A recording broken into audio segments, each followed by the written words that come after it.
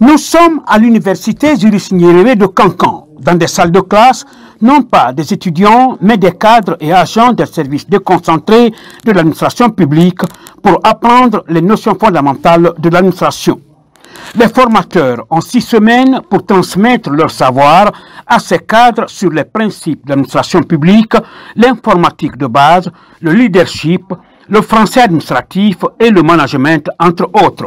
Le cours de management en particulier que nous donnons dans le cadre du projet PAPAP est très important en ce sens qu'il va permettre au niveau intermédiaire de développer des compétences managérielles qui permettraient aux différents cadres qui occupent ces postes de responsabilité de mieux organiser leurs services, mais aussi de mieux les gérer et de mieux gérer les collaborateurs qui sont mis à leur disposition.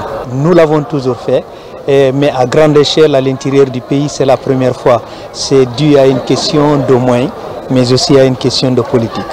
Le français administratif, euh, c'est une technique qui permet aux gens de savoir désormais comment rédiger les courriers administratifs. Parce que nous avons compris que les gens sont dans l'administration, mais ils ne savent pas réellement comment, travailler. D'où actuellement l'existence de la lenteur administrative.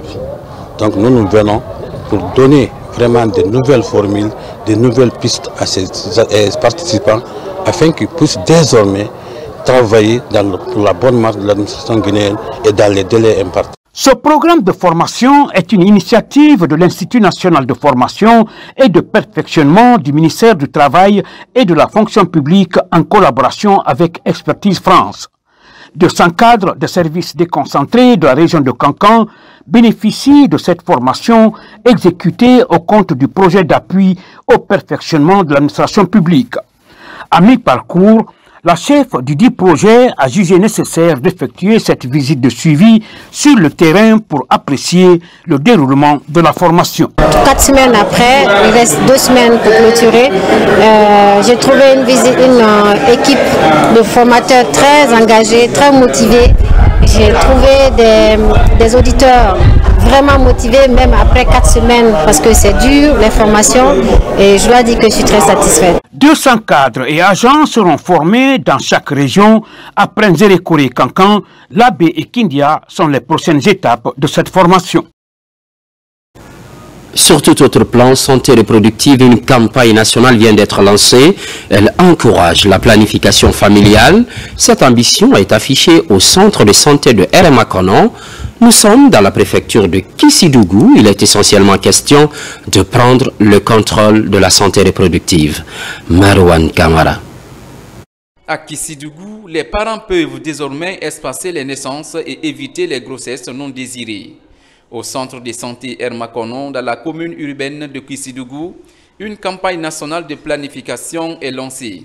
Elle est initiée par la direction préfectorale de la santé à travers les partenaires techniques et financiers. Chaque jour, il y a au moins, sur toute l'étendue du territoire, il y a six femmes qui meurent en République de Guinée par suite d'accouchement. Alors si nous prenons ces nombres de décès, nous multiplions par 365 jours, voici le nombre, ça fait vraiment important, ça donne à réfléchir. Alors c'est dans ce cadre que le gouvernement, avec ses partenaires, ont initié cette campagne de planification familiale qui était une fois par an, mais maintenant c'est deux fois par an. Ce programme national permettra d'offrir gratuitement des services de la planification familiale aux populations locales afin de prendre des mesures pour améliorer la couverture de la contraception dans les localités de Kissidougou. Les partenaires techniques et financiers s'alignent sur le programme du ministère de la Santé et sont disponibles à accompagner le pays dans l'amélioration de la santé des populations, notamment les femmes et les, et les jeunes filles.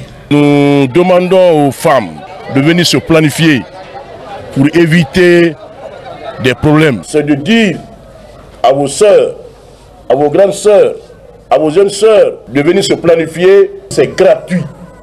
On ne paye pas. Cette campagne de sensibilisation sur la planification familiale est l'une des principales stratégies de contrôle de santé reproductive pour réduire la morbidité maternelle.